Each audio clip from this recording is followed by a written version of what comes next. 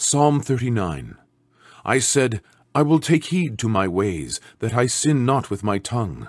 I will keep my mouth with a bridle, while the wicked is before me. I was dumb with silence. I held my peace, even from good, and my sorrow was stirred.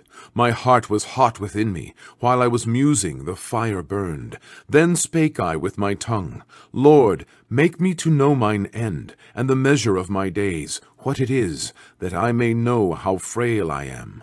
Behold, thou hast made my days as an handbreadth, and mine age is as nothing before thee. Verily, every man at his best state is altogether vanity. Selah. Surely every man walketh in a vain show. Surely they are disquieted in vain. He heapeth up riches, and knoweth not who shall gather them. And now, Lord, what wait I for? My hope is in thee.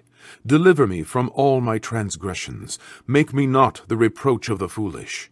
I was dumb. I opened not my mouth, because thou didst it.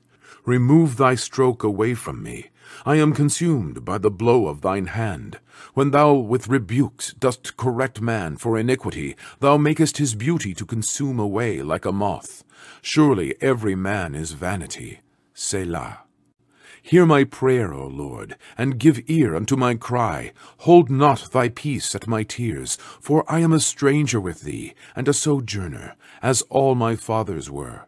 O spare me, that I may recover strength, before I go hence, and be no more.